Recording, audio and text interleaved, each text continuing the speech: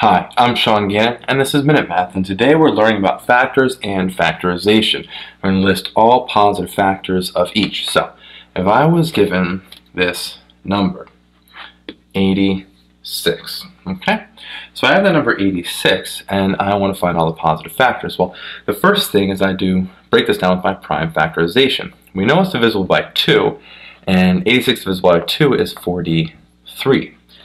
But then now I'm kind of done. 43 is a prime number, right? 43 is a prime number. So when I compile my list, it will always include 1, and then 2 is there, the prime number. There's nothing else that I can multiply together except for, I know 43 goes in 86. So 43 is the next, and then 2 times 43 is 86. So now I'm actually done. My list is just four numbers long. 1, 2, 43, and 86. So quick recap.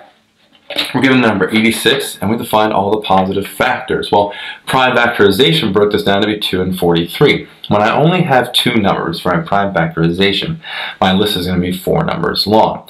One, the number itself, and our two prime numbers. So that just really brings us to our final answer of just 1, 2, 43, and 86.